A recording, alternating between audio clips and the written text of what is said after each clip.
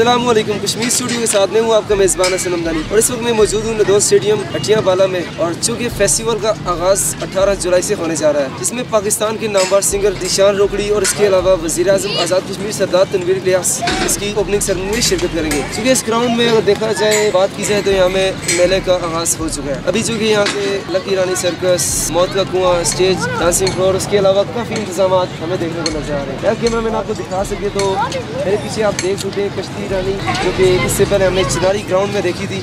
और इसके अलावा अगर बात की जाए यहाँ के झूलों की, उसके अलावा बच्चों के लिए, बड़ों के लिए फैमिलीज़ के लिए काफ़ी इंतज़ाम किए गए। अगर बात की जाए यहाँ के मौत के कुएँ की तो मौत का कुआँ भी किसी से कम नहीं और ये आपको हमेशा, जिस तरह आपने चिनारी में देखा, उस तरह आपको यहाँ भी देखने को मिलेगा। नाजिन जितनी भी एक्टिविटीज़ हैं, वो आपको ग्राउंड की बाउंड्री से बाहर देखने को नज़र आएँगी। चूँकि पिछले दिनों काफ़ी सोशल मीडिया पे बात चल रही थी कि ग्राउंड ख़राब हो जाएगा और ग्राउंड में इस तरह की एक्टिविटीज़ होना मुनासिब है या ग्राउंड के लिए ये कुछ नहीं होना चाहिए। तो इसके लिए हुकूमत आज़ाद कश्मीर और ऑर्गेनाइजर सैद जीशान हैदर की मेहनत से और इस ग्राउंड में स्पोर्ट्स एक्टिविटीज़ की जाएँगी।